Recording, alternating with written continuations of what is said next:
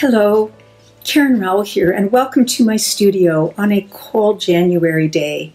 It is a true privilege to be asked to perform as part of the YouTube video series for CNCM and the Northern Lights publications.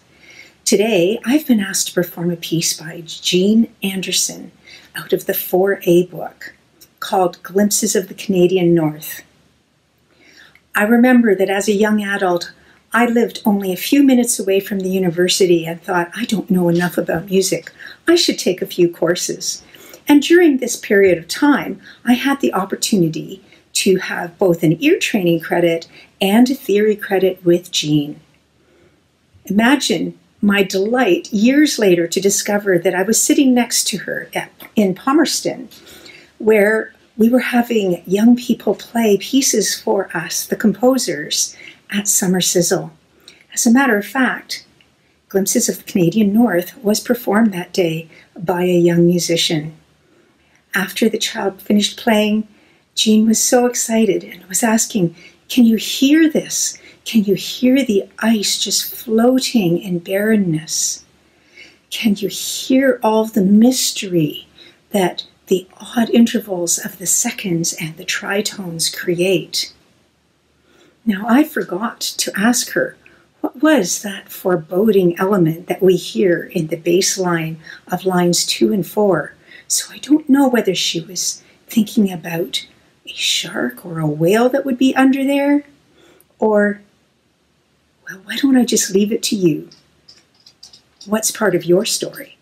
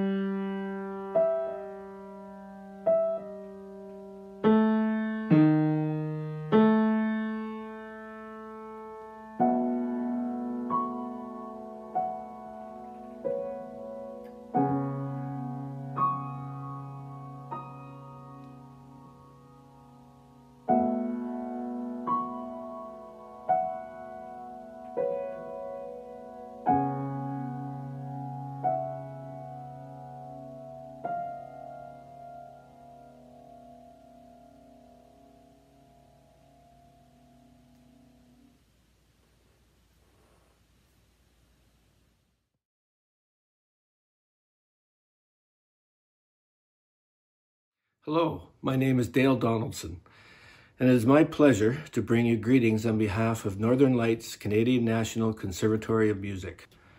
My daughter Sarah was one of the early students to participate in CNCM when the conservatory was formed 19 years ago, and I've seen firsthand the positive impact this program can have on a young person's personal growth and love of music.